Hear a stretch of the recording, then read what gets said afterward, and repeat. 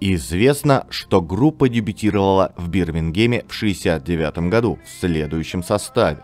Грэм Филд, клавишник и автор большинства песен, Дэйв Кафинетти, снова клавишник, Марк Эштон на ударных и Стив Голд, на долю которого выпало не только петь, но еще периодически брать в руки то бас, то гитару. Собственно, фишка Rare Bird и состояла в том, что группа делала упор на звучание двух электроорганов. В принципе, чутье ребят не обмануло. Скоро так называемый прогрессив-рок со сложными многочастными композициями завоюет верхние строчки хит-парадов.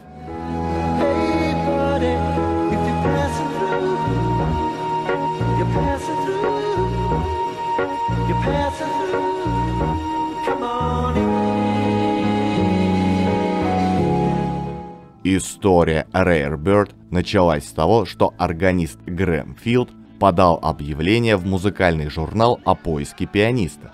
На его призыв откликнулось 30 музыкантов, среди которых был и Дэйв Кафинетти. Именно он и стал вторым участником коллектива, который первоначально назвался «Ланч». Эти два талантливых клавишника задумывали группу как квартет с барабанщиком и поющим бас-гитаристом.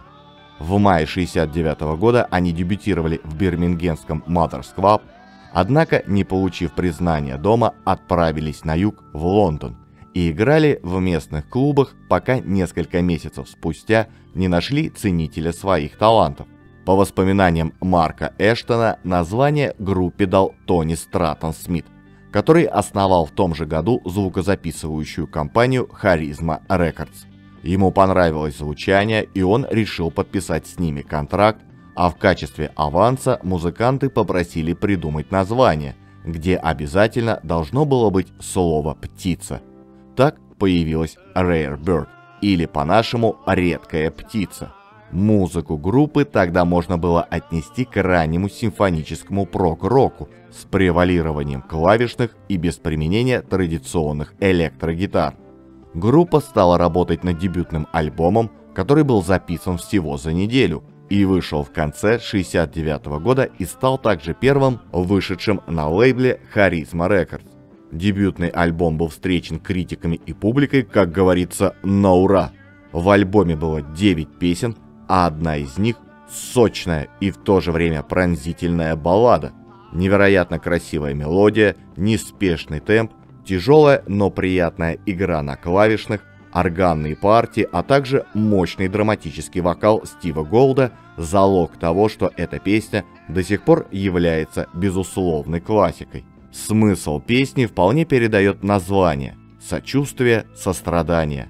О том, что часть людей живет полноценной жизнью, не испытывая острой нужды в чем-то, а другая просто умирает от нищеты. And sympathy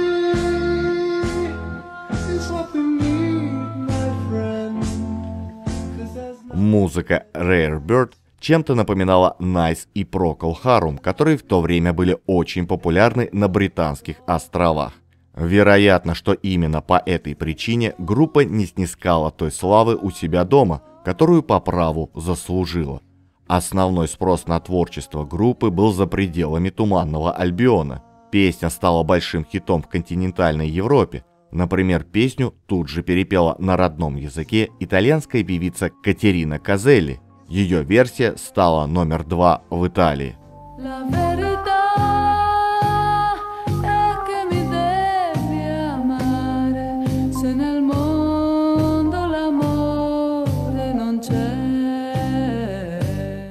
Советские слушатели познакомились с песней в основном благодаря польской пластинке, представляющей сборник песен Rare Bird.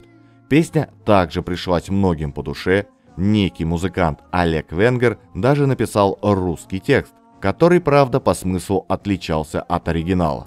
Представьте ночь, скрипы оконных рам И любовь, что была, но прошла В 1992 году британская группа Marillion выпустила свою кавер-версию, которая даже заняла 17 место в британском хит-параде.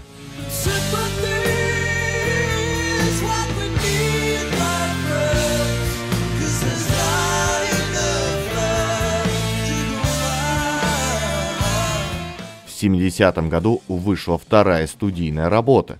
Этот альбом с лидирующими Хаммондом и электрическим пианино продолжал путь своего предшественника и был лишь немного помрачнее.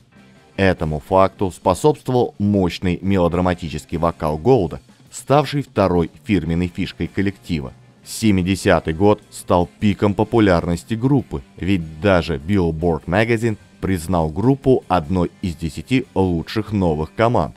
К сожалению, у самих музыкантов отношения что-то не заладились, и вскоре стаю покинули две птички. Грэм Филд, который тяготился своей ролью в группе и был недоволен направлением ее эволюции, ушел. И в 1971 году вернулся на сцену как лидер группы The Fields, следовавших кильваторе тогдашнего рок-авангарда, прежде всего King Crimson. А в 1972 году группу оставил и Эштон. Это привело к серьезным изменениям. Место за ударными занял Фред Келли, а вместо Грэма со своим органом появился гитарист Энди Кертис.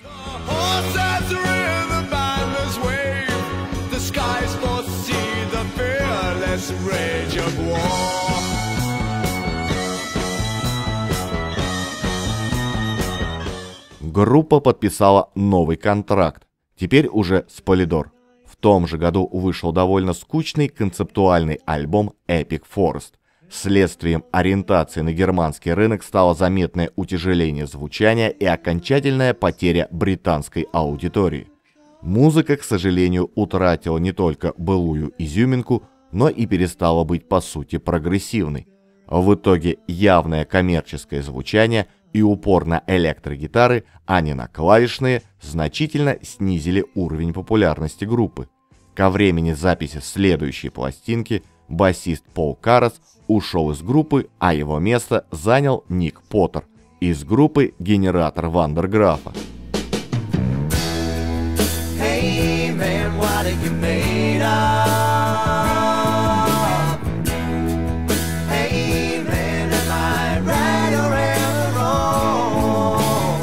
И все же Стив Голд со своим вокалом и Дэйв Кафинетти при помощи своих лидирующих клавишных упорно пытались сохранить фирменный стиль группы. Следующий альбом группа рассматривала как свою главную работу. Звук стал более фанковым, соло лаконичнее, а аранжировки изысканнее.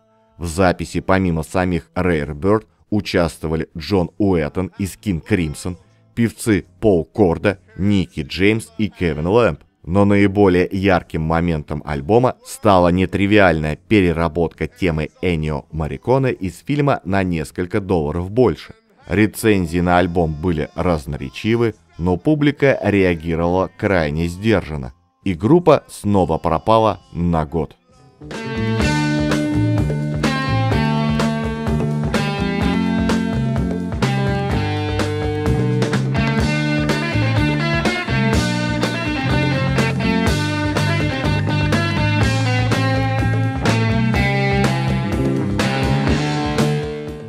Несмотря на все старания музыкантов, популярность группы стала неуклонно снижаться, и слушатели теряли к ней интерес. К 1974 году и Кертис, и Поттер исчезли. Последний в 1979 году всплыл в лондонской группе Tigers, а бас взял в руки Энди Рэй. Пятый альбом группы, в котором пел Леон Лэмп, провалился. И в том же году они распались. Уже постфактум вышло несколько синглов и пара компиляций. Музыканты разобрелись по другим проектам, но ни один из них не достиг той популярности, которой пользовались Rare Bird. Возможно, группе просто не повезло. Даже сегодня в англоязычной Википедии ей посвящено лишь несколько абзацев. Интересно, что другая группа, Genesis, опекаемая тем же харизма и работающая в близком стиле, обошла первенцев лейбла по всем показателям. Возможно, причина неуспеха группы в крайне высокой конкуренции. В начале 70-х В рок-музыке было слишком много хороших групп. Но, повторюсь, играли и пели парни более чем достойно.